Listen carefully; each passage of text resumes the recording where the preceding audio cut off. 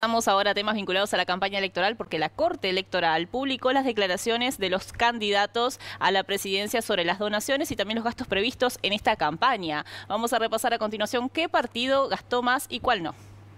La Corte Electoral publicó los presupuestos iniciales de campaña, las donaciones y contribuciones que recibieron los candidatos a la presidencia. Los partidos que se presentarán el domingo 27 de octubre suman 10 millones de dólares en gastos, la mitad de ellos corresponden al Frente Amplio. La campaña del candidato Frente Amplista Yamandu Orsi declaró 216 millones de pesos uruguayos previstos en ingresos. De ese total, 200 millones corresponden a lo que el Estado le paga a cada partido político por los votos obtenidos en las elecciones pasadas. En egresos previstos, 209.682.000 pesos uruguayos. Donaciones en efectivo, 7.640.000 pesos uruguayos. El Frente Amplio no declaró donaciones en servicios y materiales. En el Partido Nacional, el candidato Álvaro Delgado declaró 98 millones de pesos previstos en ingresos. Dicha suma se repite en los egresos. En donaciones en efectivo, la cifra es de 9.225.000 pesos uruguayos, mientras que en donaciones de servicios y materiales 1.826.000 pesos. Esta última donación fue realizada el 30 de agosto por una empresa bajo la categoría vía pública. En filas coloradas, el candidato Andrés Ojeda fue el que declaró más donaciones recibidas a la campaña electoral, teniendo al expresidente Julio María Sanguinetti como uno de sus principales donantes. Los colorados declararon cerca de 28 millones de pesos previstos en ingresos y 35 millones en egresos. En donaciones en efectivo se declaran 26 millones 737.753 pesos uruguayos y más de un millón en donaciones en servicios y materiales. Esta última donación refiere a una única contribución del propio candidato con fecha del primero de julio para el alquiler del local de campaña ubicado en Boulevard España. En Cabildo Abierto se presentaron los gastos de campaña que abarcan del primero de julio al 27 de octubre de 2024. Ingresos previstos 28.732.720 pesos uruguayos y egresos previstos cerca de 26 millones de pesos. Cabildo Abierto no presentó donaciones a la Corte Electoral. En el caso del Partido Independiente declararon 48 millones de pesos previstos en ingresos y 21 millones de pesos previstos en egresos. En caso de las donaciones, solo se declararon en efectivo un valor de 2 millones de pesos, todas ellas realizadas por personas físicas, muchas de ellas dirigentes del partido. El único partido político que no presentó la documentación requerida por la ley es el Partido Ecologista Radical Intransigente, quien ya había omitido presentar ante la Junta de Transparencia y Ética la declaración jurada de la fórmula presidencial.